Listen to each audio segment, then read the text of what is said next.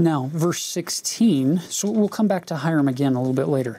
Verse 16, you get John C. Bennett, who is. What a character. He, wow, this guy has a history where he's been in multiple states as the dean of this, this medical school that he's set up to, to train doctors and give them their medical licenses. Well, a bit of a diploma mill. Yeah, you have the money, I'll sign the paper, and you are now, you pay me enough, I'll, I'll make you a doctor right right now without the training, is what's happened. And he's a very, very smooth talker, a, a real people person. And he comes to Nauvoo, and instantly everyone loves John C. Bennett. He's he, Joseph is a very trusting individual. He's a he's the he's kind like of a guy who gives the benefit of the doubt. He's like a little child. He just assumes the best in everybody, which is actually a pretty nice it's way nice to live. Trait. As long as nobody is taking advantage of you. Yeah, well, John C. Bennett comes in. He's very, very quickly rises to power, and he's he is elected the mayor of Nauvoo.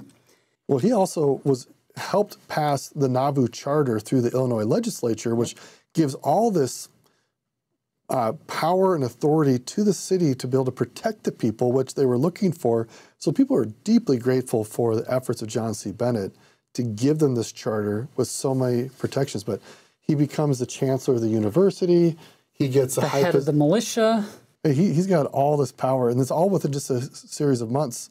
In fact, we were talking earlier about the two major buildings they're building at this time the temple and the Nauvoo house, which is supposed to be built to house dignitaries and illustrious people.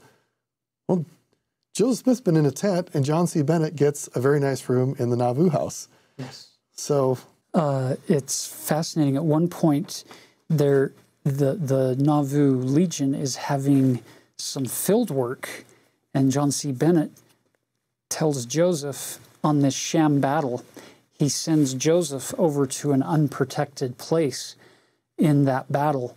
And the Spirit whispers to Joseph, No, there's foul play here. Almost as we don't know exactly what would have happened, but the prophet said he felt the Spirit constrain him. Don't go over to that unprotected place.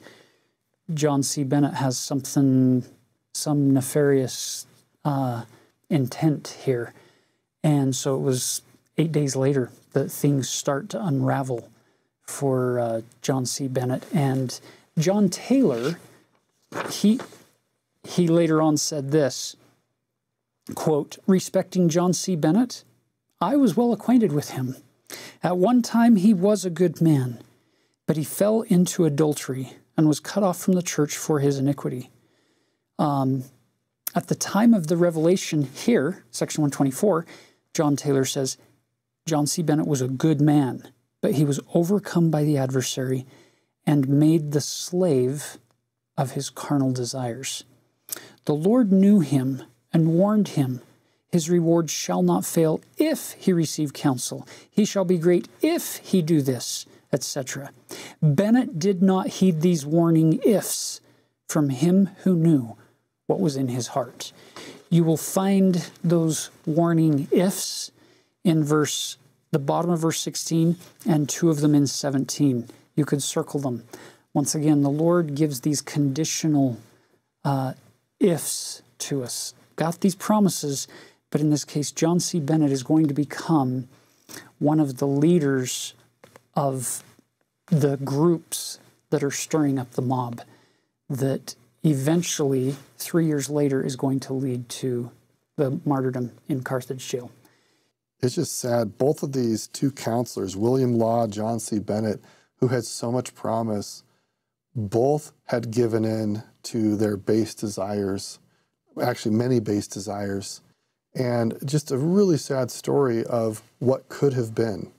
And what I love is that God gives all of us opportunities to get to our very best selves through Him if we choose to diligently continue to try. That's the power of the sacrament. Every single week, you get to declare again, Lord, it is my desire to be with you. It is my desire to be faithful to you.